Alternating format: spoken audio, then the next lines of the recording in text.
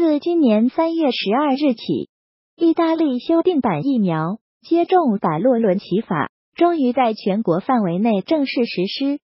根据新法案，该国六岁以下未接种预防水痘、脊髓灰质炎、麻疹、腮腺炎和风疹疫苗的儿童将无法在幼儿园入学。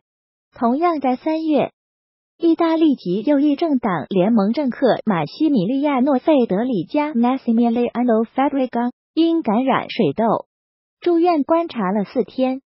这看似关系并不大的两件事，却在近日被专业人士发现了相交点。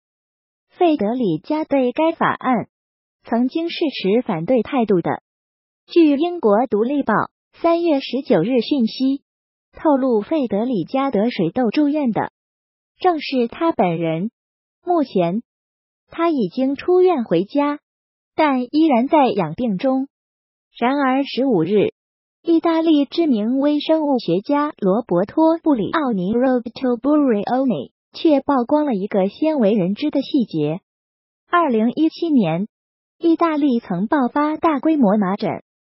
前卫生部长阿特利斯·洛伦齐 （Beatrice Lorenzin） 便签署了这份疫苗接种法。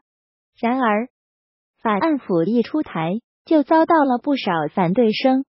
当时在意大利众议院任职的费德里加，更是通过脸书发帖，猛烈抨击了其强制性。包括西班牙《先锋报》在内的多家西方主流媒体都报道过此事。费德里加在文中称，虽然他已经给自家小孩接种了疫苗，但他认为政府不应该胁迫所有父母都带小孩都去接种，因为打了疫苗也不一定管用。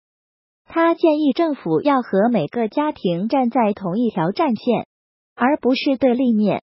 布里奥尼翻出这番颇具讽刺意味的言论，希望费德里加住院事件。能为至今没打过疫苗的人敲响警钟。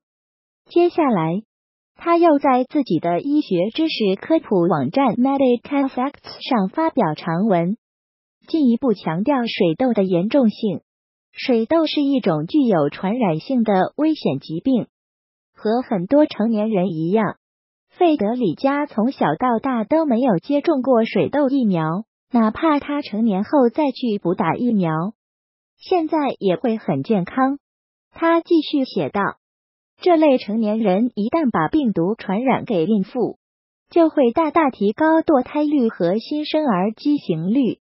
医院从不缺少因水痘住院的病人，他们因为自己或身边的人没有接种疫苗，正遭受地狱般的痛苦。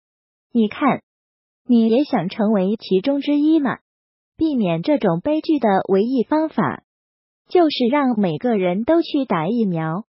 如今，不少网友都在推特上嘲笑费德里加，但后者却极力否认自己说过这些话。国内网友也开玩笑道：“可不，得完水痘正好接住反疫苗，